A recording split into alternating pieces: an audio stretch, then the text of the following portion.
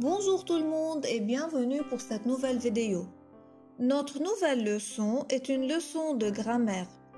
Il s'agit des procédés de reprise.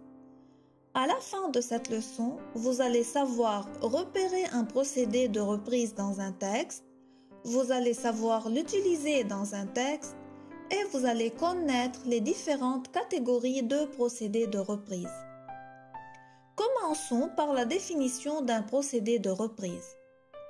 Les procédés de reprise sont des expressions ou des outils grammaticaux qui permettent d'évoquer un élément dont il a déjà été question dans un texte en le désignant autrement afin d'éviter la répétition. C'est-à-dire, lorsqu'on écrit un texte, on doit parfois répéter un mot ou un groupe nominal plusieurs fois.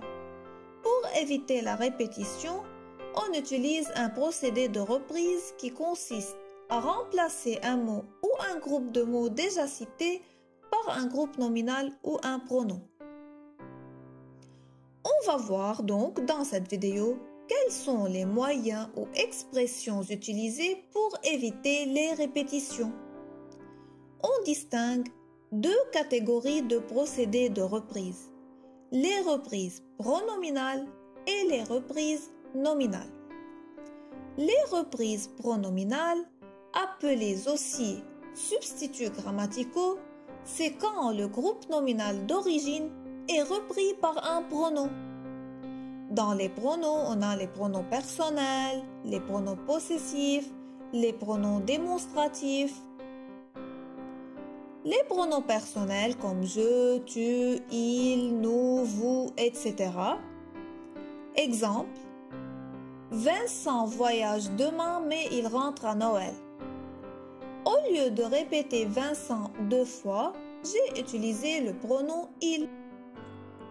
Les pronoms possessifs comme le mien, le tien, les miens, les tiens, la sienne, les siennes, les vôtres, les leurs. Exemple. Je peux avoir un crayon, j'ai oublié de chercher le mien. Le mien est un pronom possessif qui m'a aidé à éviter la répétition du mot crayon. Un procédé de reprise peut être aussi un pronom démonstratif, comme celui, celui-ci, ce, cela, celle, celle-ci, ceci, etc. Exemple, Papa a acheté une voiture comme celle des voisins. Celle est le pronom démonstratif qui empêche la répétition du mot voiture. Passons maintenant à la deuxième catégorie de procédés de reprise. Il s'agit des reprises nominales. Les reprises nominales, appelées aussi substituts lexicaux, c'est quand le groupe nominal est repris par un nom ou un autre groupe nominal. Dans les reprises nominales, je peux avoir recours à des déterminants. C'est la répétition du nom d'origine avec un autre déterminant. Je garde donc le même mot, mais je change le déterminant. Exemple, le chien du voisin aboie tout le temps, mais ce chien est vraiment mignon. J'ai gardé le même mot, mais j'ai changé juste le déterminant. L'information a été donc reprise par un mot précédé d'un autre déterminant. Autre moyen pour éviter les répétitions, c'est en utilisant le synonyme du mot, c'est-à-dire un autre mot qui a le même sens. Exemple, pour m'écrire, il décide de partir à vélo. La bicyclette va certainement l'aider à perdre du poids. Pour ne pas dire deux fois vélo, j'utilise le synonyme bicyclette. On peut utiliser un autre moyen pour éviter la répétition et enrichir notre texte avec des périphrases. Une périphrase, c'est quoi? C'est un groupe nominal plus développé qui apporte des informations supplémentaires sur ce dont je parle. Exemple, la nicotine est une substance dangereuse. Ce poison spécifique du système nerveux provoque une accélération du rythme cardiaque.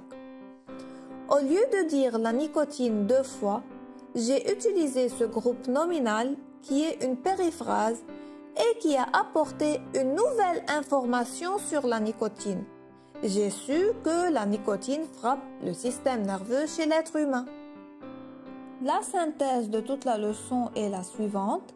Les reprises nominales et pronominales sont des procédés qui permettent d'éviter la répétition d'un élément déjà mentionné dans un texte. On distingue deux catégories de procédés de reprise. Les reprises pronominales, c'est quand le groupe nominal d'origine est repris par un pronom.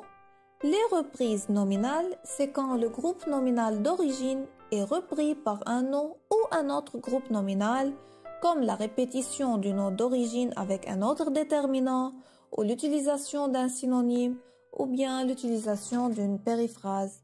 Voilà, c'est la fin de notre leçon. À bientôt.